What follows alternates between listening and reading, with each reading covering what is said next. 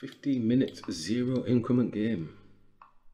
See how we get on today. So we're going to um we've been doing a bit of practice with the pattern type stuff and just going to grab here one key thing for me let's just take this.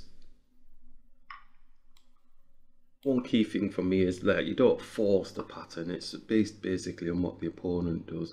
So it's a matter of just taking time and looking for the nice positions and if the opponent then gives you a pattern that you can potentially take I'm going to put check on the king. Bishop comes out defends and pushing the pawn here just to stop the knight from jumping to these squares. So everything looks a little bit tight in this center here so there's no no current yeah it's attacking so it's a single attack. We could bring the bishop here the rook comes to attack it or we could just bring the bishop back into this little little den. So the knight is out we want our knight out. Um, I'm going to come here to go here to attack the bishop. Obviously the knight's going to take it off the board. So I'm going to continue with that. So just take with the bishop yeah. So ownership of a file is going to be key, but when you've got the bishops blocking the area, it's quite difficult to really get that to work. So I'm going to bring the bishop back again to where it started, well, where we placed it last time. And the knight doesn't have any de defense on, so if we bring the rook here, we can't take this pawn because the bishop is on. So you can probably expect the pawn to push down which probably means we bring the rook back, we come here, and if they forget themselves, this bishop doesn't have any protection apart from the king. So it does. So we're going to bring the rook back. If they forget themselves, the knight comes here looking to take the rook off the board. So then we've got the double on the bishop like we mentioned. So the bishop is going to have to move um, there, but then we'll get this bishop because we've got a two on one on either of the bishops. That's the way that I see that. So that kind of pattern recognition happened very quickly, but we did mention it before it actually got to this state.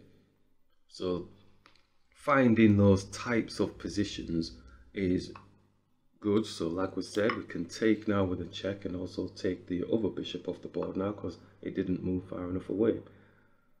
Now just going to halt for a second just to make sure that we're not losing out. So let's grab. So we've got two minor pieces up at the moment. So they're looking to trade down so we can afford to trade down. But we don't have any pieces that are actually protecting this square. And our king is really deep into the trenches. So we take, his rook takes. So there's one of two things that we can do. We can move the rook just to the side could move it up so that the knight or the bishop takes. I think we're just going to move it up, keeping it simple. And he wants this pawn passed. Is that correct? Okay, let's just take this pawn here. We have two pieces defending this area at the moment. Um, is there anything else that we can do? Should we just take it off the board now and then this pawn is just acting like a passer, the bishop can block it, can't it? Let's just take it off the board, let's not confuse it. Or shall we keep the bishop? No, the knight's more flexible in this sort of situation. I think, so I think we need to keep the knight. Yes.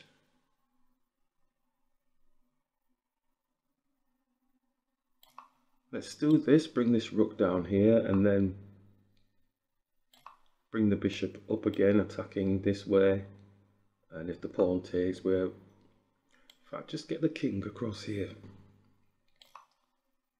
Let's just move the king across because you know they'll end up getting a cheap sort of let's just go here. And then bring the bishop here attacking the pawn.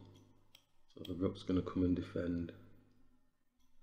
Sorry the rook can't take the bishop because the rook oh rook's got an x-ray through so we're going to put a check on the king and then take the pawn put a check on the king and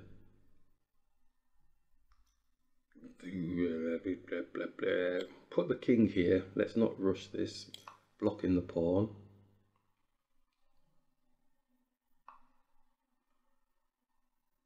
You know, I could have won there, rook, you know.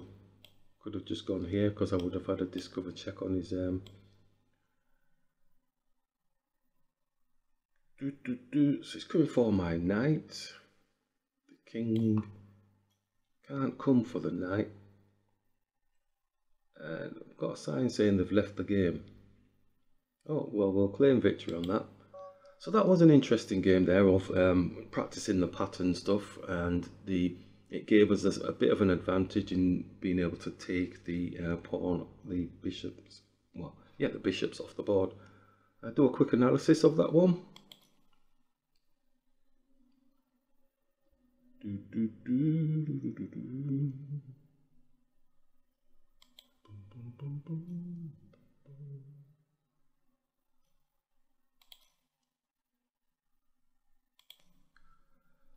Two inaccuracies, one mistake, three blunders for me, and two inaccuracies, three mistakes, and three blunders for the opponent. Okay, so there or thereabouts in terms of performance wise. 83% for me and 75 for the opponent. So that's not too bad at all. So we're going to just um, have a look and see if there was any major dips as we do see if there's any lessons to be learned from there. So we pushed through the centre, we grabbed, it's saying a blunder, but we had our explanation. It's opening up, can take the queen, or the queen can take, whichever way. And so we take, and we look to improve the position with the bishop, and castle, keeping everything nice and safe, and put a check on the king, and supporting supporting the defense of this area here because we didn't want the knight to be a bit too funky. Bishop comes through again, so we bring our bishop through and we bring the bishop back. It's showing plus 3.1 there at that stage, but then it drops with this knight move. Because obviously the bishop could take the knight, um, but to me it wouldn't kind of really improve their position. Doubling the pawns for me is okay. And then the king moves down. So the gauge is just going up and down. So we explain this position as well, knight attacking, so if the knight takes and the bishop can take.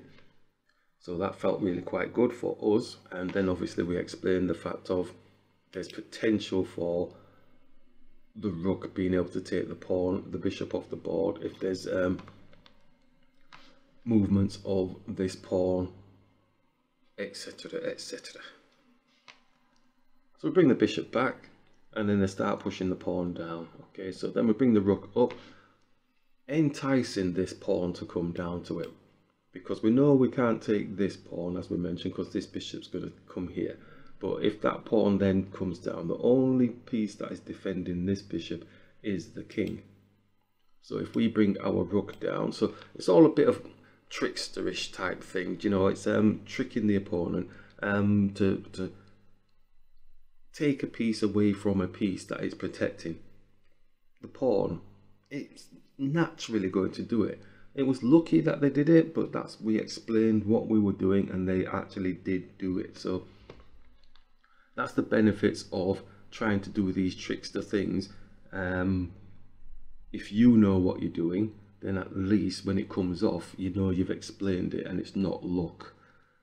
So the knight comes down attacking our um, rook and we did say well if the knight does come down and we didn't get to finish our sentence and the knight came down so the bishop could take which is then going to free up time for our rook to come across and have a two-on-one on the bishop so in reality the bishop could move back one so then at least it's not going to be in the threat position when the rook takes but it's moved to the wrong square so that allows us to then get the bishop off the board. We did take a time just to have a look and see if that was going to improve our position.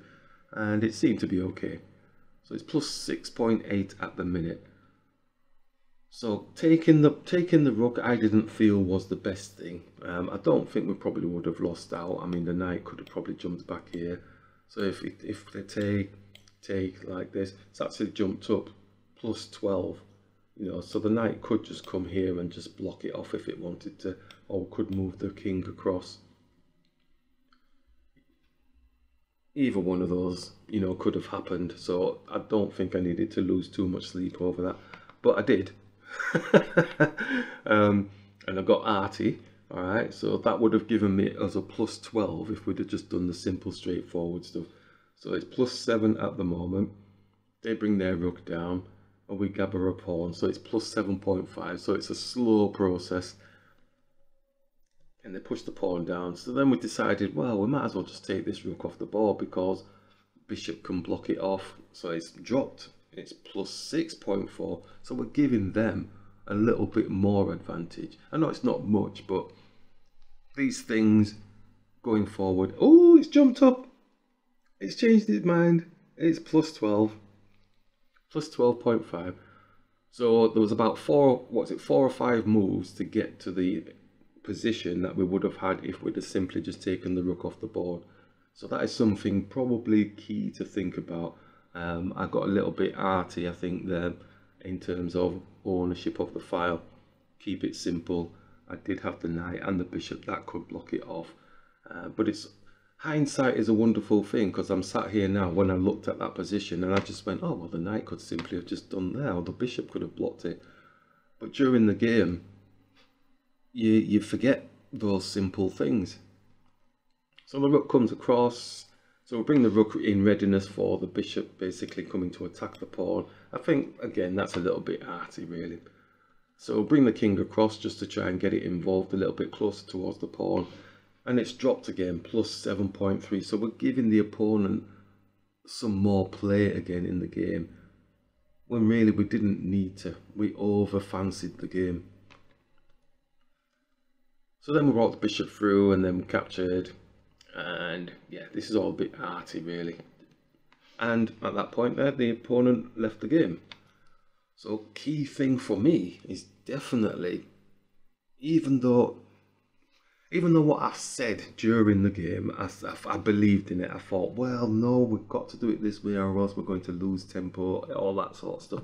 And but really, just keeping it simple and just taking a little bit of time to have a look at the realistic position on the board.